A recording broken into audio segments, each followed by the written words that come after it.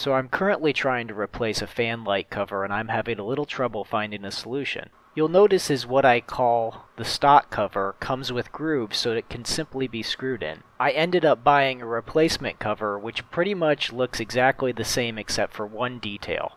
The replacement cover does not have the grooves, so it looks like it needs some sort of set screw. However, it looks fairly difficult to drill through the fixture metal on the fan to install the set screw. Is there an easy solution I'm missing? If so, feel free to comment below.